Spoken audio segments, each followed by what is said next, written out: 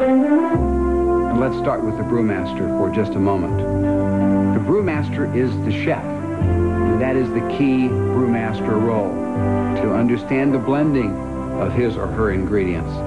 Not only he or she tastes the beer every day, there's another person who tastes the beer every day, and that is me.